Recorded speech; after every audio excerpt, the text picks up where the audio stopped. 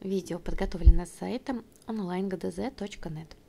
Всем привет, и сейчас мы с вами разберемся, как выполнить задание номер 278. Нам нужно сократить дроби, а потом привести их к знаменателю 24. И первая дробь это 5 пятнадцатых. И 5 и 15 делится на 5. Сокращаем на 5.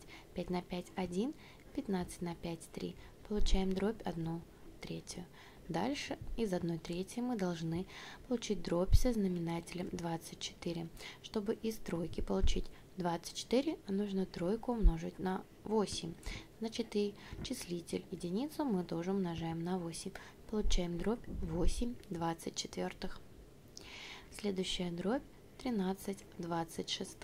Сокращается на 13. 13 на 13 1, 26 на 13 2. Получаем дробь 1 вторую. Должны привести к дроби со знаменателем 24. И чтобы из двойки получить 24, нужно двойку умножить на 12. Значит, и единицу нужно умножить на 12. Получаем 12 24. 15 сороковых, следующая дробь, и 15 и 40 сокращаются у нас на 5. 15 на 5 – 3, 40 на 5 8. 3 восьмых. Должны получить дробь со знаменателем 24. Для этого восьмерку нужно умножить на 3. Ну, значит, и тройку мы должны тоже на 3 умножить. Получаем дробь 9 24.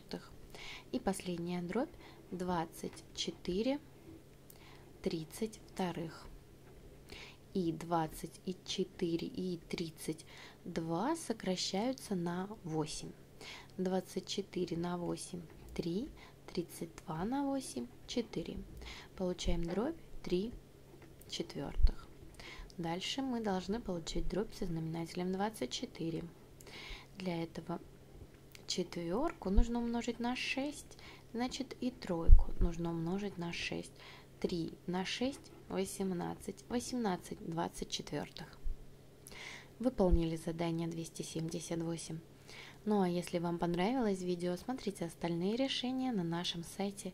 И вопросы, предложения или пожелания подписывайтесь на наши группы в социальных сетях.